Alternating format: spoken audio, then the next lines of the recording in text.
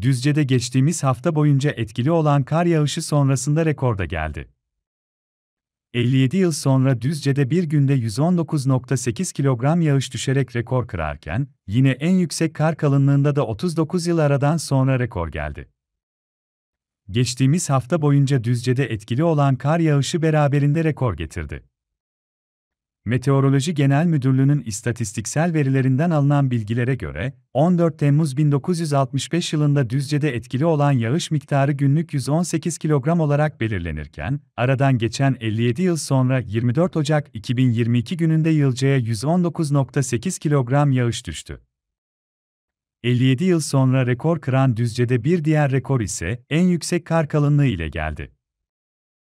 2 Ocak 1983 yılında ölçüme göre en yüksek kar kalınlığı 80 cm olurken, 25 Ocak 2022 gününde Düzce'nin Kardüz Yaylası'nda kar kalınlığı 2 metre 41 santim olarak ölçülerek 39 yıl sonra rekor tazelendi.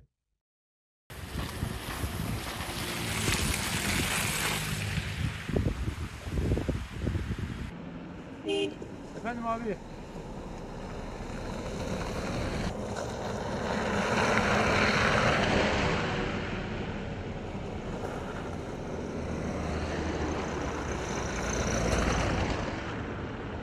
Valla şimdi bulamıyor kullanıyor ya.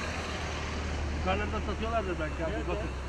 Yukarılarda yine sağda tesislerde var.